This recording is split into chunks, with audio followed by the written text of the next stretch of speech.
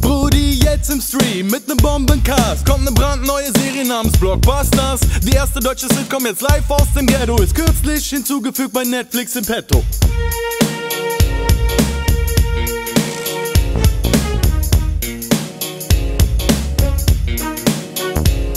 Aufgewachsen im Hochhaus, MC Soll ab mit dies und das tun seine Hände voll. Chillen und kiffen und etwas dazwischen für das Arbeitslosengeld sich den Arsch aufreißen. Aber Stress mit der Freundin bleibt nicht aus, wenn man mit seinem Kumpel die Scheiße baut. Man, eigentlich lebt sich im Block ganz gut, doch das Hotel Mama ist jetzt für Schmarotzer zu. Auch Sido Chata sind Gäste der Show. Chilo ab, die Moritz bleibt treu oder Frederik Lau. Außerdem Jürgen Drews und das geilste Afrop und du denkst dir nur, Bro, bring mich gleich mal zum Blog.